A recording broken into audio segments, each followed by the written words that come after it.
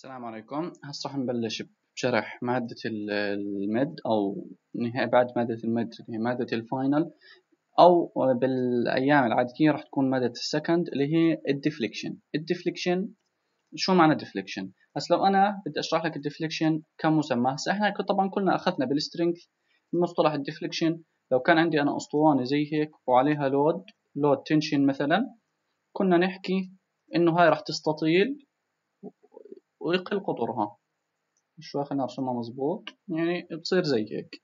هاي نتيجة tension نتيجة ال tension إنه طولها بزيد وقطرها بقل. هذا كنا نسميه deflection أو deformation هسه ال deflection اللي اخذنا كنا نأخذه على أجسام معينة أسطوانات أه وصلات وهكذا. هسه إحنا راح نأخذ هون deflection بال beam. deflection بال beam كيف يعني؟ لو كان أنا عندي ال beam التالي هذا beam.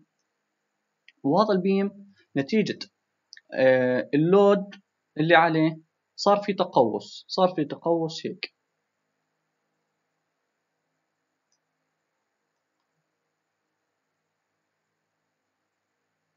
هيك صار لل beam تقوس. شوفوا كيف شكله نتيجة الحمل اللي عليه لو فرضنا حمل مستطيل يعني زي هيك.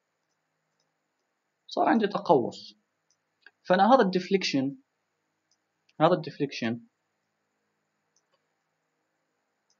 هي المسافة هاي مثلا أو المسافة هاي يعني هي الدلتا أو بعض الكتب بسموها y. إحنا دلتا أو y ما يفرق معي. وهسه ال slope اللي عمله ال beam يعني لو هذا هيك محور x وهذا محور ال beam فهاي الزاوية ثيتا بسموها slope. فأنا صار عندي شغلتين. إشي اسمه؟ y or. delta هي اللي بتمثل ال deflection وال theta هي ال slope هي ال slope. فأنا بهذا ال chapter وال chapter الثاني هو chapter 8 و chapter 9 راح يكون عندي طرق لحساب ال y وطرق لحساب الثيتا كل طريقة لها استعمال أو يعني أنا هي بستعمل هاي الطريقة عشان إشي معين أو بستعملها لما يكون عندي حالات لل load معين. وهكذا. يعني أنا عندي عدة طرق راح نتعلمهم راح نتعلم طريقة ال double integration دائما هاي ببلشوا فيها لأنها هي أسهل وحدة ولكن ممكن تكون طويلة. double integration integration method هاي راح نتعلمها بهذا الفيديو إن شاء الله. في عندي أنا ال moment area moment area theorem طبعا هاي ما راح أشرحها. أنا أنا شخصيا كعبد الرحمن ما راح أشرحها. آه طريقة شوي زنخة وبتقدر تستعمل آه، الطريقة اللي بعدها اللي هي conjugate beam بتقدر تستعملها كبديل وبالامتحان لو امتحان multiple ما بفرق معك أي طريقة استعملتها. إن شاء الله جبت قيمة ال deflection من المريخ ما بهمكش شو الطريقة. conjugate beam method وفي هذول ب chapter 8 موجودات هسه بال chapter الثاني chapter 9 راح ناخذ طريقة اسمها ال virtual virtual work method هاي بنستعمل قوانين حفظ الطاقة وهكذا بس مش زي اللي أخذناهم بالفيزياء وال dynamics طبعا آه، في طريقة مش رح ممكن نأخذها ممكن لا اللي هي ال least square ممكن نأخذها بال structure 2 الطريقة مش صعبة. آه، هي تقريبا نفس ال virtual work على أسهل شوي. وفي طريقة بعدها آه، ال Castigliano method أتوقع يمكن هيك اسمها بس موجودة بفهرس الكتاب. بس ما بعرف شو الدكتور ممكن يعطيكم هذا الفصل ولكن أنت لو كنت متمكن من ال double integration ومتمكن من ال virtual work أنت يعني حتى لو طلعت لقدام بالتخصص الطرق الثانية ما بتفيدك. ولكن إحنا خلينا مبدئيا نتمكن من ال double integration وال virtual work طبعا ال conjugate لأنه إذا جت أسئلة على ال conjugate بتكون مميزة. يعني لو أجى سؤال conjugate beam قال لك هذا conjugate beam أو قال لك هذا conjugate conjugate beam أو هذا conjugate beam diagram انت هون ما راح تعرف تحل ما راح تعرف تحل ابدا إلا عن طريقه ال conjugate. فبالتالي إحنا لازم نكون عارفين نحلهم كلهم آه، حالين كل الطرق. لازم نعرف نستعملهم كلهم. ولكن أنا راح ممكن أشرح لك في هذا الفصل بهاي الفيديوهات راح تكون ثابتة على القناة. ممكن أشرح لك كل الطرق الا ال moment area theorem ممكن أغير رايي فإحنا كل الطرق هاي بتحسب لي الثيتا وبتحسب لي ال y. طيب شو العلاقة بينهم؟ خلينا نسترجع معلوماتنا من لما دخلنا التخصص كنا تعلمنا على شيء اسمه load. بعدين حكينا لو كملنا هذا ال load بيعطيني shear. من معادلات ال shear وال moment لما كنا نحكي sigma F y يعني لو كان عندي أنا load مثلث كنا نحكي ال shear تبعه. ال shear تبعه هو load مقعر. راح تحكي لي صح. ليش؟ إذا هذا linear فهذا شو؟ مقعر. شو يعني إذا هاي معادلتها x هاي كم بدها تكون؟ تكون x تربيع. فبالتالي لو كان هذا معادلته ثابت فشو تكامله؟ بيعطيني إيش؟ يعني إذا كان قيمته خمسة تكامل بيكون خمسة x. صح. معناته أنا في علاقة بينهم تكامل كل ما أنزل لتحت بكامل. فبالتالي شوف في load وفي shear طب تكامل ال shear شو كان؟ هو ال moment. يعني إذا كان ال moment linear إذا كان ال shear linear راح يكون في عندي إيش؟ بعد ال linear راح يكون عندي second parabola يعني إذا كان ال shear x فال moment x تربيع. moment. بعدين هسه إحنا لهون تعلمنا. ولكن هسه بال structure 1 أو بهذول ال chapters راح نتعلم ناخذ شيء اسمه ال slope. وشيء اسمه الموم ال deflection اللي هو ال delta وال theta طيب. طب أنت لاحظ إني هون حطيت خط. ليش حطيت خط؟ يعني لأنه structure 1 لا. هسه هون لما كنا نكامل لما كنا نكامل كنا نكامل عادي. ولكن لما نكامل هون بعد الخط يعني بدي بد... إذا أنا معي معادلة ال moment وبدي ال slope لازم أقسم على EI اللي هي ال stiffness ال E اللي هي modulus of elasticity وال I هي ال moment of inertia طب بس راح تحكي لي بالامتحان بدي أطلع ال E زي ال strength وأطلع ال I زي ال static أه بحكي لك لا راح يظل يقول لك إنه ال EI constant وتمشي يعني ال E وال I هم قيمه ثابتة هم راح يفيدونا بالحل. ولكن مشان الحسابات العملية بالحياة بدنا نعرف إنه لما بدنا نكامل تكون عندي EI يعني لو ال moment معادلته x تكعيب فال slope راح تكون معادلتها مثلا x هو 4 على 4 EI راح يصير عندي ينتج شيء اسمه اي اي ما راح ننسى ال EI تمام؟ ما راح ننسى ال EI يعني ممكن يقول لي افرض EI واحد. افرض EI ثابت فأنت ثابت بتطلعها برا التكامل وبتحل طبيعي. بتجاوب النهائي بتحط EI بس. فهذا اللي راح نتعلمه. حطيت الخط معناها إنه بدك تقسم على EI يعني بتمنى إنك ما تخربط.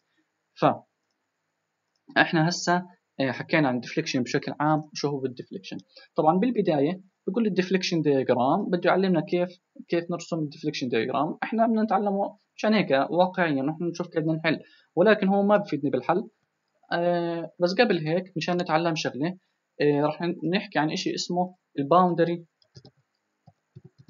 ال boundary condition ال boundary condition هذول بستعملهم بطريقة أساسية بطريقة طريقة ال double integration ال double integration طريقة ال double integration لازم أنا أعرف هذول ال boundary condition شو يعني ال boundary condition؟ يعني table 81 شو table 81 بحكي لي؟ بحكي لي لو أنا كان عندي roller أو pin أو أي يعني roller أو pin هيو لاحظ. roller أو pin بحكي لك إنه ال deflection عند ال support نفسه ال deflection عند ال support يساوي zero ولكن عندي ثيتا. عندي ثيتا.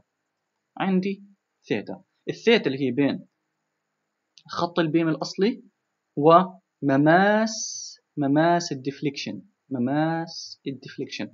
يعني إيه؟ يعني شوف كيف ال deflection عندي هذا نتيجة التقعر لو أثرت عليه load راح تقعر معي هيك. طب ليش تقعر معي هيك؟ لأنه ال deflection هون zero لأنه support طيب هذا التقعر شو المماس تبعه؟ هيك. مثلا فهي هي الثيتا. هاي هي الثيتا. هذا هو الثيتا. فاحكي لي إنه ال support أي نوع من أنواع ال support ال deflection عنده zero. بدنا نتعلمها. ال deflection ال deflection at support تحديدا. fixed pin or roller بيساوي zero. تمام؟ هاي مشان تكون واضحة. deflection عند ال support سواء fixed أو pin أو roller بيساوي zero. لازم تعرف هذا الإشي وتحطه ببالك. ثاني إشي الثيتا. ال slope. or theta at fixed تساوي zero. بس عندي ال fixed بتساوي zero. وال slope. والثيتا. أو الثيتا يعني. At pin or roller بتساوي value. لها قيمة يعني. لها قيمة. هاي القيمة أنا بدي أحسبها. هاي القيمة أنا بدي أحسبها. تمام. من هذا الشيء شو بستنتج؟ لو عندي هذا ال pin بدي أعمل له diagram أو عندي هذا الجزء فهاي فهون عند ال pin عند ال pin zero zero deflection ولكن في ثيتا فلاحظ إنه فعلا في ثيتا. عند ال roller نفس الشيء بس لاحظ عند ال fixed. عند ال fixed عند ال fixed بيكون ال theta وال roller zero. ليش؟ بكون هاي هاي ثابته fixed ما بتتحرك. بعدين بعد جزء معين من ال beam بتنزل. فالثيتا بتكون مش عند عند ال fixed نفسه هي zero. شوف لاحظوا ما صار تقعر ولكن الثيتا عند أي قيمة ثانية بتساوي قيمة. لو كان عندي frame والزاوية تاعته كانت سواء internal hinge أو fixed آه، connection يعني عادي ما في عندي internal hinge ففي عندي ثيتا وفي عندي deflection راح يصير عندي تقعر راح يصير عندي تقعر فال boundary condition بتمنى إنه نعرفهم وهم كالتالي. ال boundary condition كالتالي. هيهم. ما بدنا ننساهم. خليهم ببالك. سواء بال deflection بال double integration وسواء بالرسم. عشان تعرف ترسم. الرسم مش مهم حكينا بس دير بالك من هذا الإشي. مهم جدا بال structure 1 ومهم جدا بال structure 2 تمام. فهون بقول لي كيف تتعلم الرسم؟ بكل بساطة أنا قبل شوي حكيت انسك من الرسمات المرسومة. أنت تلقائيا هسه هو قاعد بيوضح لك العلاقة بين ال moment وال deflection لو كان عندي ال moment negative بقول لك التقعر زي هيك. لو كان عندي ال moment positive بكون تقعر هيك. يعني بوز... negative moment بكون التقعر للأعلى و positive moment بكون التقعر للأسفل. ال negative moment ال negative moment هو برسم الكتاب على فرض إنه هذا ال negative وهذا ال positive ال negative moment التقعر للأسفل وال positive moment التقعر للأعلى. أصلا تلقائيا لو عندي هذا ال beam ال moment diagram له آه هذا الم... آه بدناش هذا ال moment diagram لو عندي simply supported beam وعليه load موزع كنا نحكي ال moment diagram ال moment diagram له هيك. بس هون هون كان فارض ال positive تحت وال negative فوق. يعني يعني بدي أرسمه زي هيك. فهذا إيش negative moment ال negative moment إيش حكى لك negative moment التقعر التقعر لوين لأسفل أو إنه هيك شكله. هيك شكله. بس هو خطأ هو خطأ. هذا ال moment آه هذا ال deflection له هيك. يعني ال load بيأثر عليه هيك فال deflection له هيك. فعشان هيك أنت لا تعتمد على رسمات الكتاب ارسم لحالك. ارسم لحالك من التخيل. كيف يعني من التخيل؟ يعني أنا عندي هنا ال deflection zero وعندي هون deflection zero. فلما بدي أرسم بدي اوصل بينهم طب كيف بدي أوصل؟ عندي هون لود للأعلى. عندي لود للأعلى فمعناته البين بده يطلع. بعدين بلحظة معينة نعرفش متى بده ينزل. بنزل هيك مثلا. بعدين بده يصفر. طبعا هذا مش لينير هذا مقعر. فهو الكتاب بس رسم لك زي هيك إنه هيك شكل التقعر. بعدين كمل. تغير التقعر وكمل. طيب ليش غير شكل التقعر؟ ليش غير شكل التقعر؟ في في أخذنا بالكالكولس أخذنا إشي اسمه المشتقة الثانية المشتقة الثانية المشتقة الثانية شو كانت تحكي لي؟ تحكي لي إنه المشتقة الثانية لما تكون المشتقة الثانية تساوي صفر كنا نحكي إنه شو كنا نحكي؟ إنه في عندي point of inflection point of inflection اللي هي نقطة التقاطع. طيب شو ها شو هي بدها تفيدني هالشغلة من ال calculus؟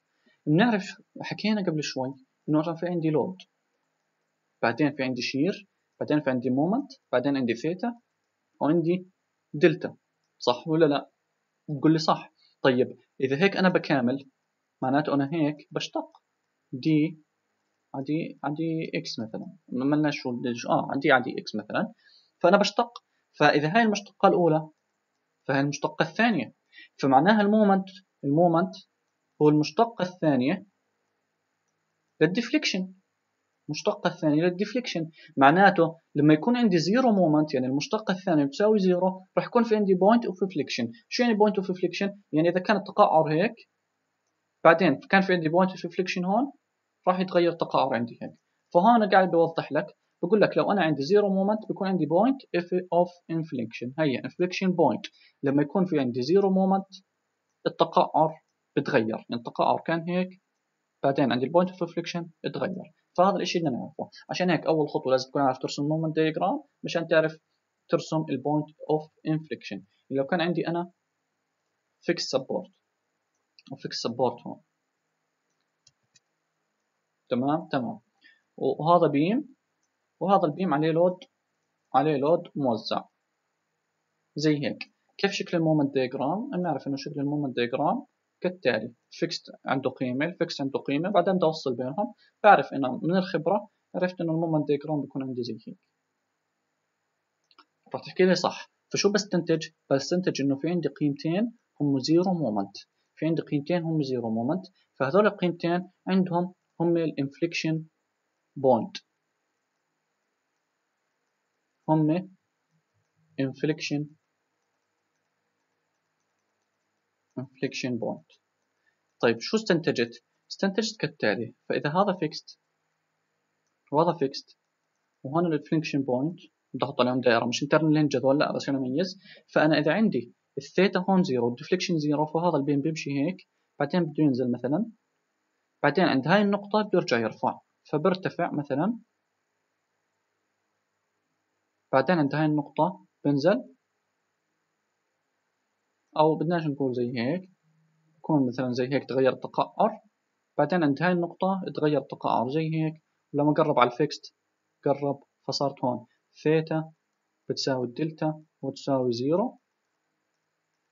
وهنا ثيتا بتساوي دلتا وتساوي zero والقيمة هاي والقيمة هاي zero moment وليس zero deflection حيث لاحظ كان التقعر هون عندي للأسفل بعدين صار للأعلى مثلا. أنا شوي الرسمة معاقة بعد كذا آه، ممكن أرسمها صح. بس بتمنى تكون وصلت الفكرة إنه مثلا التقعر آه، بيكون للأسفل بعدين بيطلع مثلا هيك بعدين مثلا بنزل هيك. مش هيك هيك. بس شكل التقعر بتمنى إنها تكون وصلت. إنه أعرف إنه التقعر بتغير. فهون عندي فاي هون حكى لك إنه هون تغير التقعر هون في zero moment تغير التقعر تمام. فهون قاعد بعطيك أمثلة. هي لاحظ هذا. هي هي الرسمة اللي أنا رسمتها قبل شوي. zero moment تقعر زي هيك. بعدين رجع تقعر للأعلى. بس أنا رسمتها لأنه القلم عندي مش كويس كثير. بس أنتم عندكم تكون واضحة. لاحظ إنه هون هذا fixed وهذا fixed fixed بالتالي هاي zero وهاي zero. moment و zero theta. أما لاحظ هون هاي the... هنا zero deflection zero deflection. هنا ما في zero moment zero theta. ليش؟ إنه ال pin ال pin وال roller من boundary condition فبتنزل زي هيك. بعدين بتطلع بعدين بتثبت هيك. طب ليش طلعت هون؟ لأنه هذا ال moment diagram له زي هيك. أو هذا هيك ال moment diagram. هيك شكل ال moment diagram. فهون في point of inflection بس هي وين هون حطها؟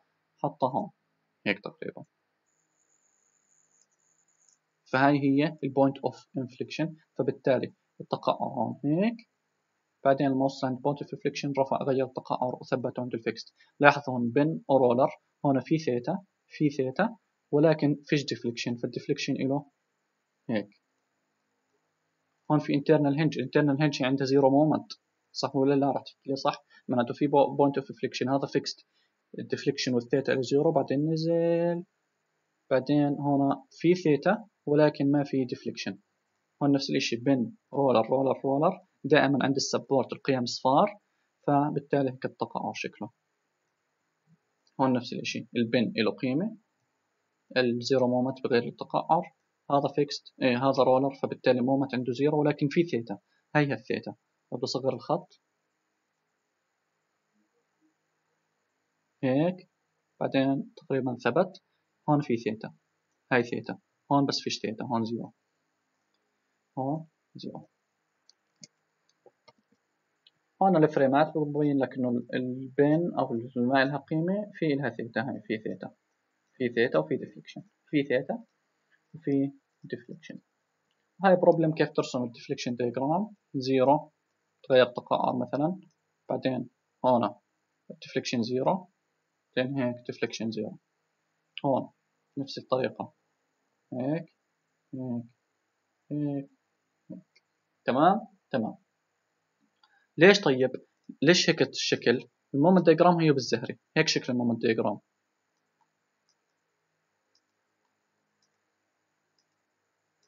هيك شكل moment diagram فهون في zero moment هون في deflection تغير تقعر. هون في zero moment هون في تغير تقعر. هون في zero moment هون تغير تقعر يعني هذا فعليا هيك بظل بعدين برفع هيك. أتمنى إنها تكون وصلت. هون في عندي قيمة زي هيك هيك هيك هيك هيك هيك هيك. فالتقعر كيف شكله راح يكون؟ يكون هون فيكست مثلا هيك هيك. بعدين بطلع لعندها بنزل بطلع هيك بعدين بيجي هيك. فهذا كان كلياته عن ال frameات. هون ال elastic theory لاحظ إنه شرح لك عن ال radius of curvature وشرح لك عن ال rho إيه، حكينا إحنا بال strength انه هذا مطول مش مهم كثير. بس إنه وصل لك آخر شيء معادلة إنه ال shear تكامل moment بعدين إنه ال deflection آخر شيء ال deflection بوصل لك آخر شيء إنه ال deflection هو تكامل ال moment مرتين. عشان هيك سموها double integration double integration يعني أنا بدي أوجد ال deflection بدي اكامل ال moment مرتين.